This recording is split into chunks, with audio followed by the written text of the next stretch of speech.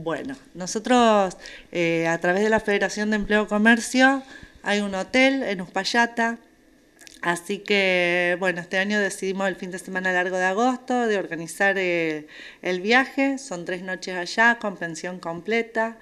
Eh, y unas excursiones, una es a la alta montaña, que está en las cuevas, Puente del Inca, y la otra es a mm, las termas de Cacheuta. Así que están todos los empleados de comercio invitados, que se acerquen acá al sindicato, que los vamos a asesorar.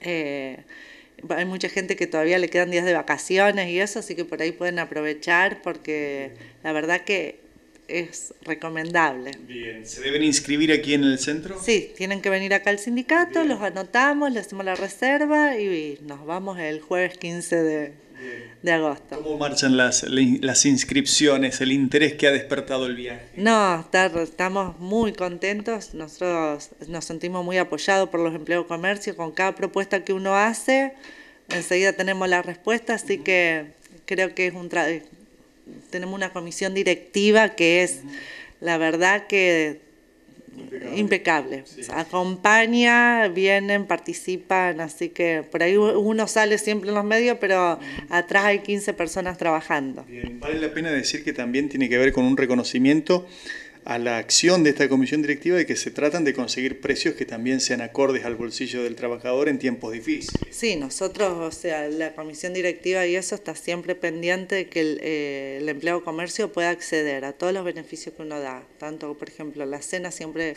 eh, subsidiamos las tarjetas, eh, todo lo que es eh, regalos, sorteos, el viaje lo mismo. Así que siempre tratamos de darle los mejores beneficios que podemos a la gente. Sabemos que estamos en una situación muy dura, pero bueno, acá estamos siempre para, para respaldarlo lo, que uno puede.